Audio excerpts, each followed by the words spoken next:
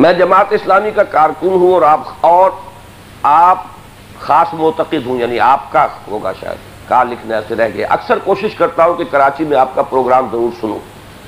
पिछले दो, दोनों दिन मैंने पूरी तवज्जो से आपका दर्द सुना और बहुत सारी बातों से इतफाक किया। इस हवाले से सवाल करने की जसारत कर रहा हूँ। अगर कोई गलती हो जाए तो माजरत खा सवाल, आपने अपनी तकरीर में अक्सर व बेहतर जमात इस्लामी को हदफ तनकीद बनाते हैं, जबकि सही, जो कि सही भी होती है। लेकिन सवाल ये पैदा होता है कि आप भी उन लोगों में शामिल हैं जिन्होंने बुनियादी तरबियत जमात इस्लामी से हासिल की। पूछना यह चाहता हूँ कि क्या आपके नज़दीक इंतबी सियासत में हिस्सा लेना हराम है? क्या आप समझते हैं कि सियासी मैदान पूरी तरह से फासिक व फाजिर लोगों के लिए छोड़ दिया जाए और असम्बलियों में कोई रोक टोक करने वाला ना हो? क्या हुकूमत करना हराम है या जायज़ रास्ते से हुकूमत की तलब करना हराम है? मुकम्मल इकामत दीन हुकूमत के बगैर किसी तरह मुमकिन किस तरह मुमकिन है क्या इकामत दीन की जिद्दोजहद करना मुसलमान पर फ़र्ज़ नहीं है?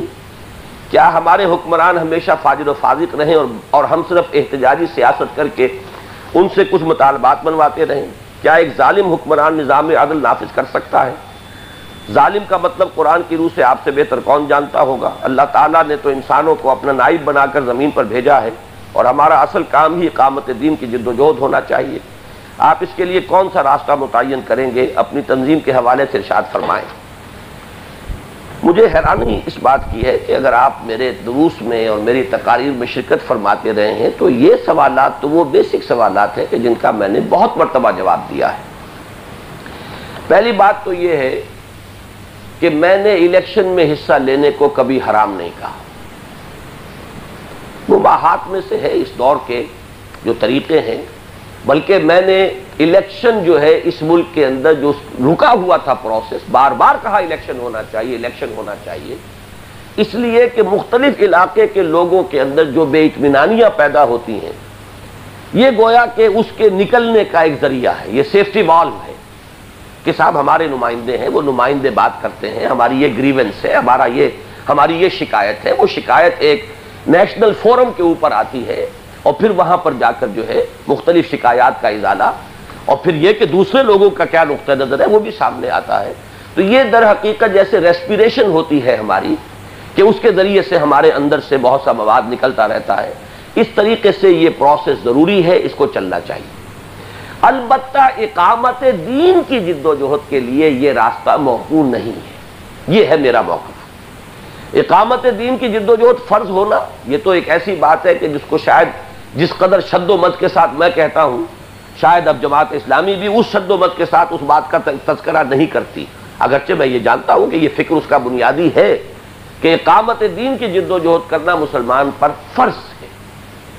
दीन कायम कर देना फ़र्ज़ नहीं है, जिद्दोजहद करना फ़र्ज़ है।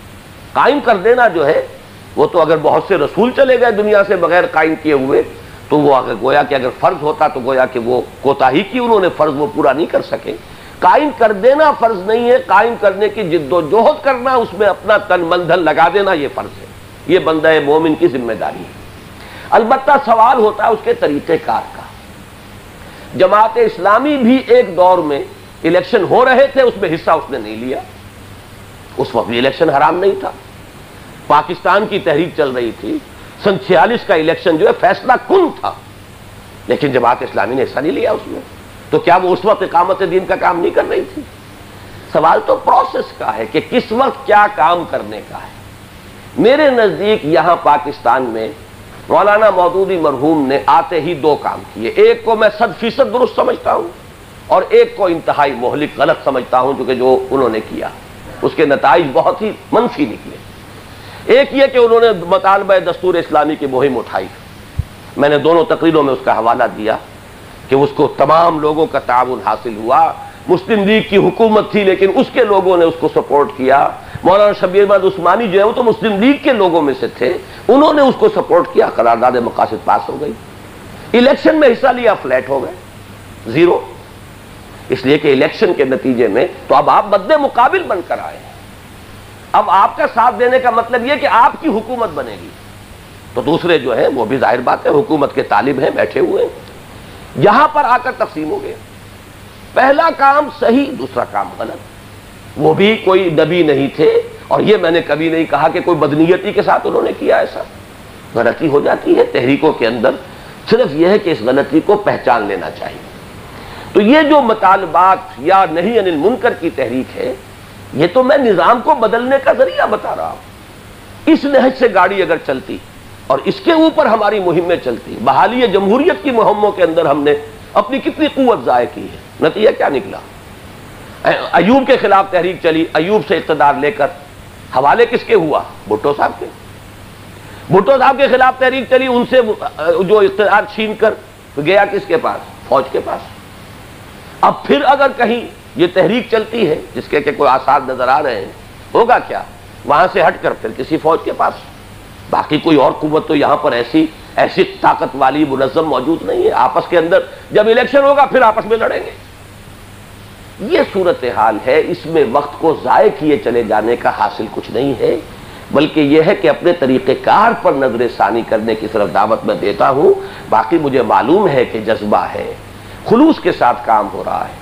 लेकिन यह है कि उस तरीक़ेकार पे अमल करते हुए अगर उसके नतज सामने नहीं आ रहे तो आखिर इंसानी तदबीर है, इंसानी इश्तहाद है। नबी कोई नहीं है इस दौर में। अपने उस तर्ज अमल पर नज़र सानी करना चाहिए। सिर्फ़ इसकी दावत है जो मैं देता हूँ।